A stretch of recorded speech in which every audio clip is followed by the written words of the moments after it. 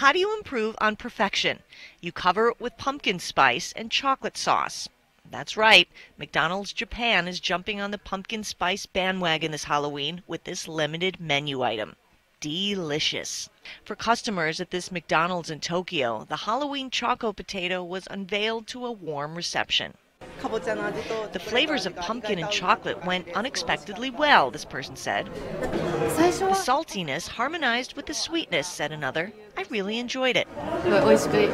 McDonald's Japan said the idea for pumpkin and chocolate flavored fries follows the enthusiasm for their regular chocolate covered fries, McChoco potatoes, which were released in January.